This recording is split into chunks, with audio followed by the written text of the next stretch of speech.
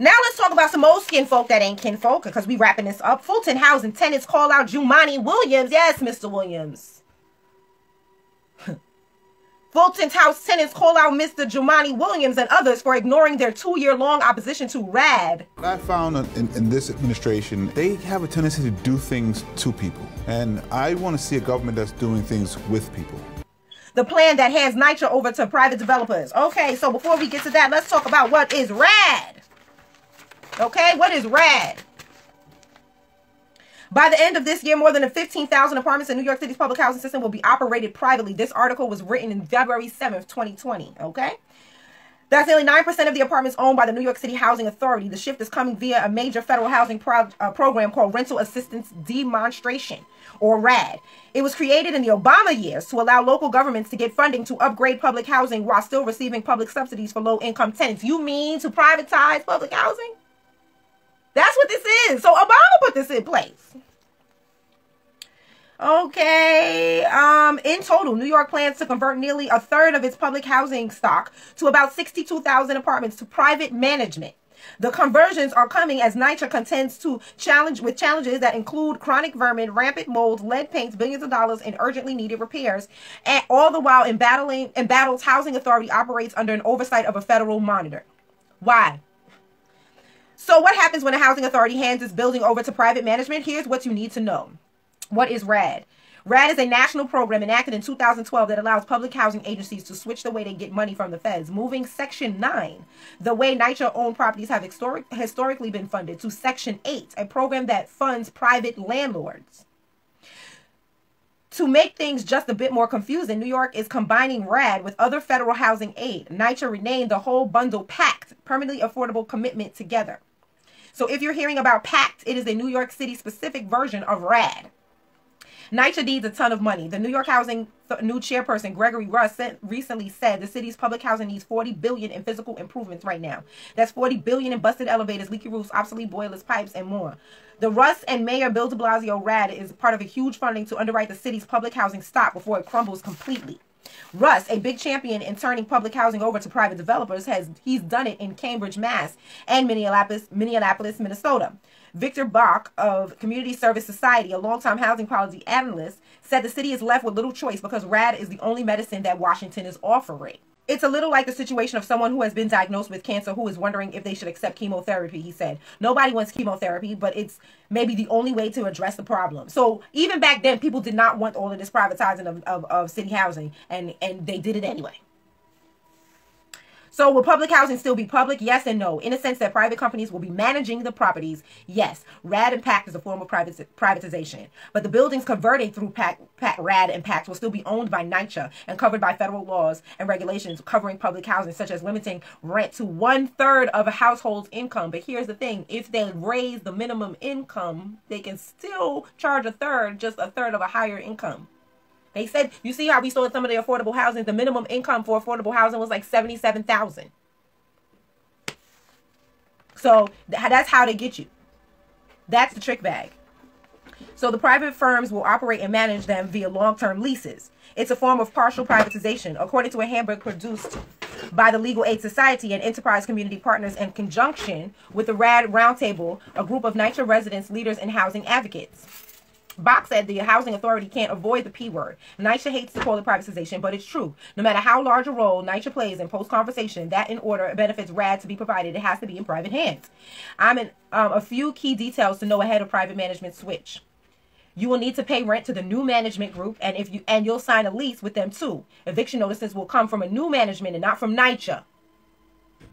Rents will be set at 30% of a household income. If it's higher than that, than what you pay now, your rent will increase over the next five years. Everyone on your current lease has the right to stay post conversion. However, any adult who wants to join your lease will have to undergo a criminal background check. NYCHA says it hopes it hopes all renovations will be done without tenants having to move, but sometimes tenants may have to be relocated temporarily and will have the right to return. Yeah, right. So when is this happening? The city's first complex go through the RAD process in 2016, which I question that because Flatbush Gardens was what 2012. So they talking about this is 2016, but remember I posted that video about Flatbush Gardens, and that was in 2012, and that was already up and running, uh, which was the old Vanderveer projects. A bundle of complexes in Brooklyn that includes 2,600 um, apartments is expected to be turned over to private managers by March. So that's rad. Let's get back to Jumaane. Mr. Williams at the end of February, the final report outlining Chelsea's NYCHA working group's recommendations for Fulton and, and Elliott housing was released. The report looks nice. The glossy representation is a real is a really is really a distraction intended to cover up an under democratic coer- coercive process that is attempting to lock us residents out of decisions about the future of our homes. We know this because we participated in the working group and have been fighting for our homes and future since 2018 when plans for Fulton and Elliott Chelsea houses were first announced. In fact, over the the last two plus years, we've reached out to elected officials and media and our neighbors and held multiple rallies, press conferences, collected signatures from the majority of, he- of heads of households of Fulton houses on a petition that opposes RAD and demolition and demands public investment through Section 9, sent a letter to HUD outlining our concerns about resident exclusion from the process and more.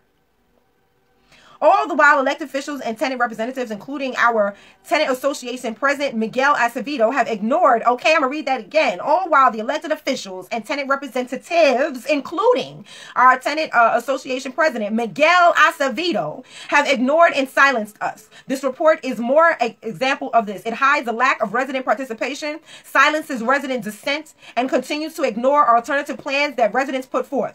We write this op-ed to set the record straight.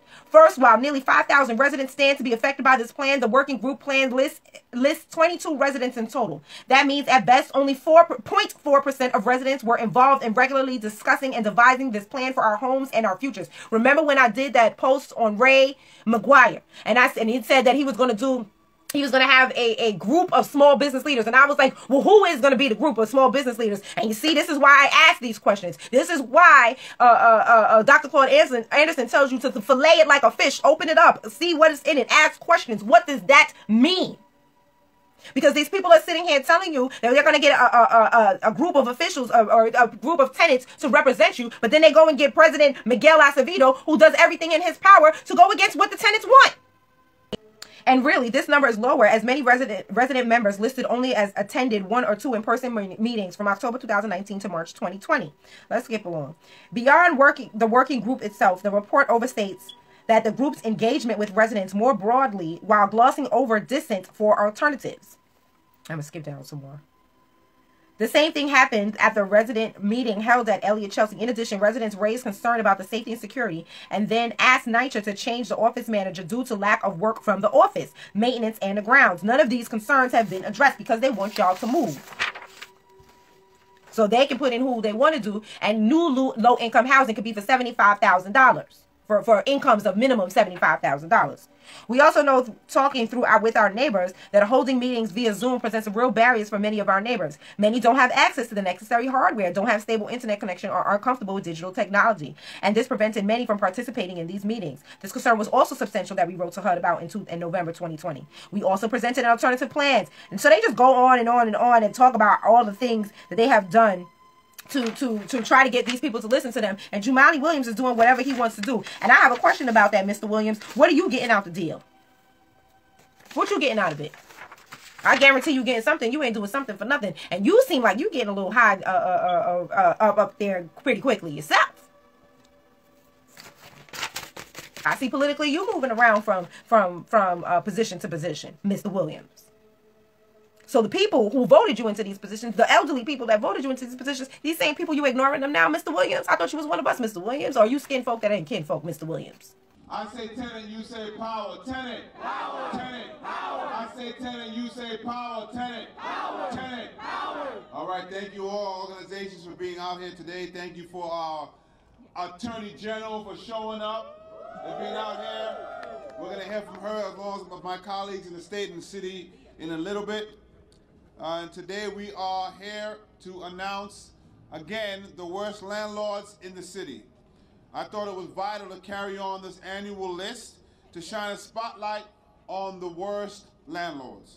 I have, as mentioned, been a tenant organizer, community organizer, housing chair of the city council, and now as public advocate, I want to make sure I continue to amplify and lift the voices of the people of this city whose voices aren't being heard and tenants who are suffering because of the worst landlords in our city. We see you. At least I see you. And now everybody else starting to see you too. Unfortunately, it's a little too late for those residents. Uh, it's you liberals who have lifted them up, Howard. Paul, you conservatives make a mistake. You can't afford to strangle hope in people. Without hope, people become dangerous. No, Howard. You liberals have let them invade our society. You give them jobs, political jobs. Oh, you missed the point. It's only the smart ones we move up. that makes it even worse.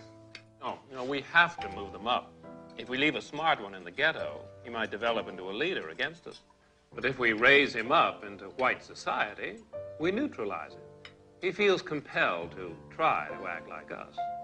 He loses his identity and uh, his racial anger, if he has any. He becomes alien to his brothers. They realize he sold them out and they grow to hate him.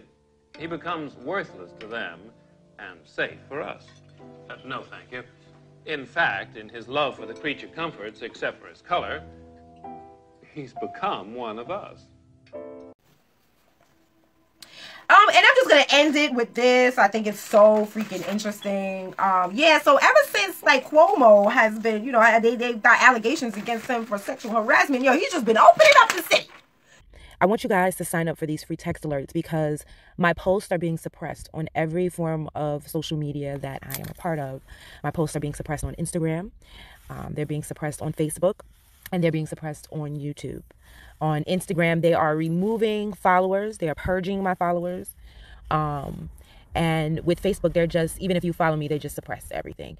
So sign up for these free text alerts. That way, regardless of their efforts to suppress my posts, you will know because I will personally send you a text message.